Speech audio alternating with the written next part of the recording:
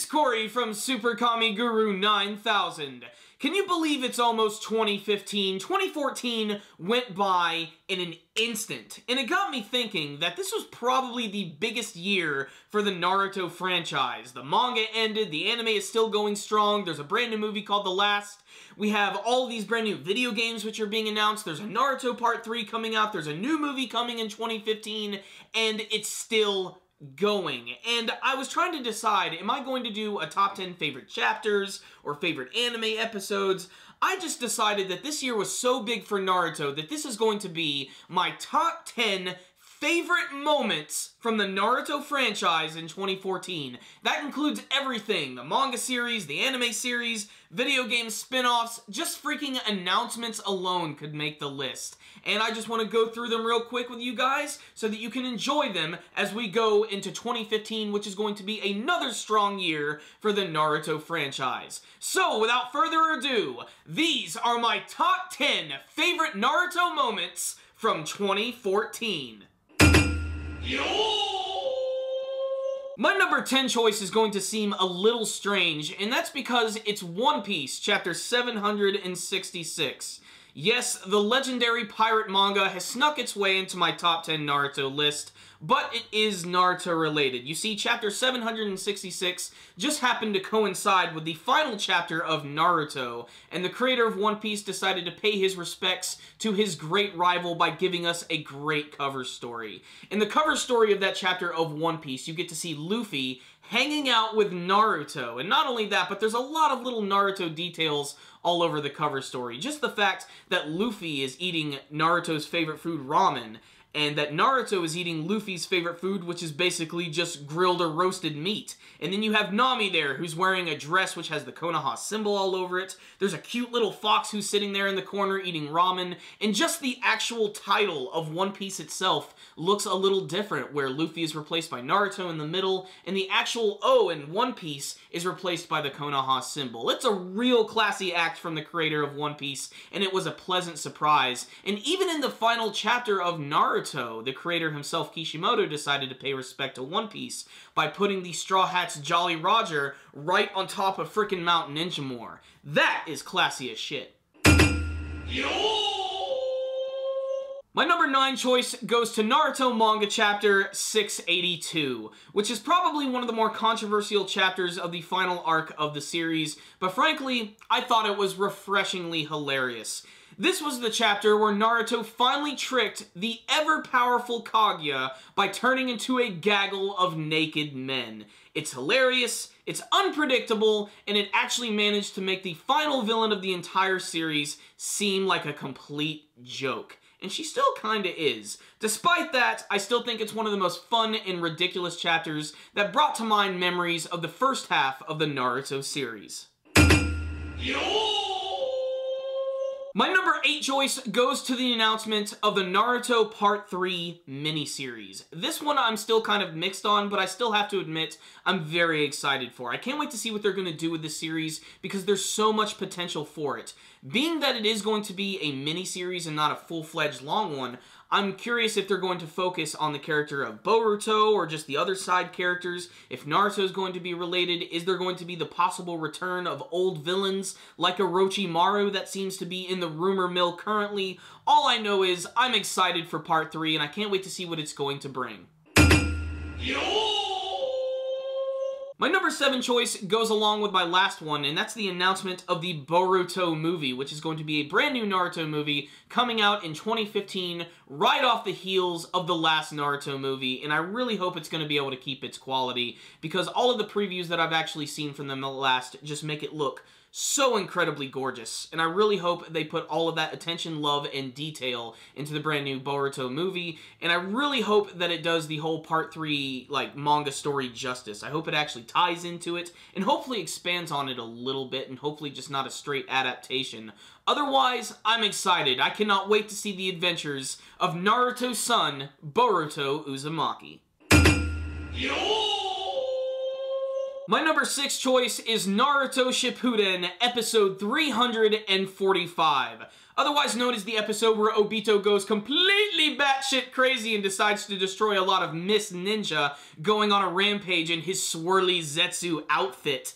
This was one of the best episodes of the entire anime series, period. It adapted the manga version really well, it had a lot of intensity, the animation was frigging fantastic, and I could literally rewatch it every day, and I love the voice acting from young Obito. I really wasn't all too happy with the fact that they decided to change the voice actors for young Kakashi and young Obito, especially after we saw them in Kakashi Gaiden. However, after seeing the voice acting from that Obito in that episode, I'm convinced they did a fantastic job, and I cannot wait to see more from the rest of the series if they're able to keep the quality just like that. Definitely one of my favorite chapters, and one of my favorite episodes of the entire series. My number five choice is Guy versus Madara. Period. That's all it is. I haven't even seen it in the anime version, but seeing this unfold in the manga version of Naruto was just awesome. It was so good because Madara was so annoyingly unstoppable throughout the entire series. I mean, it was already enough that he was an immortal zombie and then he became the Jinchuriki of the Ten Tails. Guy versus Madara is without a doubt, I think, one of the greatest battles in the final part of the series. And ultimately, it ends up crippling Guy. It ends up being the reason that he's going to be wheelchair bound for the rest of the entire series. So it's a pretty big moment for the character, and really when they get to it in the anime version, I really hope they do it justice. They have to. It's easily one of the greatest moments of the entire series and is really the Penyu ultimate moment for Guy. It's just badass. Yo! My number four choice is another battle from the Naruto manga series. It's the final battle. It's Naruto versus Sasuke. It's what we've all been waiting for.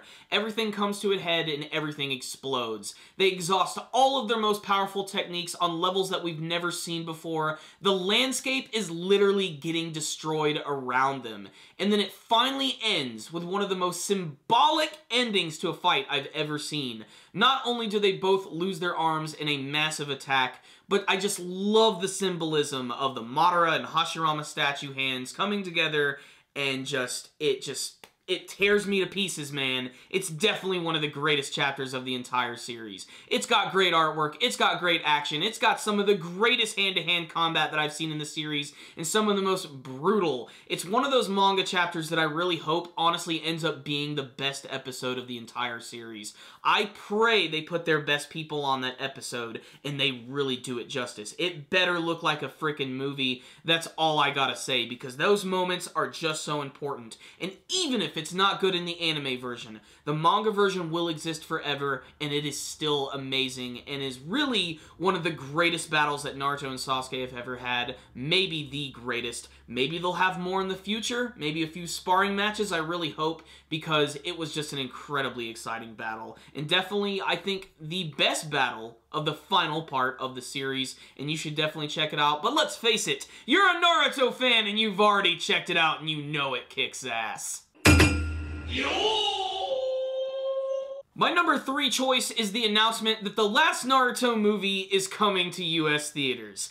I still cannot contain my excitement for this. Just the prospect of being able to see this movie in a theater with a group of hardcore Naruto fans is just going to be exciting. You can already feel the energy and we're not even in the theaters yet. People are going to be cheering for their favorite moments. Whenever a character appears on screen, everybody is going to start freaking out. Fight scenes are going to make people explode, and I cannot wait to see it happen. It'll also be a big moment because it'll be the first time I'll have ever seen a Naruto movie in a theater aside from like in an anime convention and it'll be the first time I've seen it without previously seeing any real big footage of it before. It'll be completely fresh, and it'll give us, the fans, an opportunity to actually support the series directly and let them know we want more of this, and we want more of this in US theaters. It's an exciting time to be a Naruto fan, and remember, they are going to announce you can pick up your tickets sometime in mid-January, and that's coming up. It's going to be released on February 20th,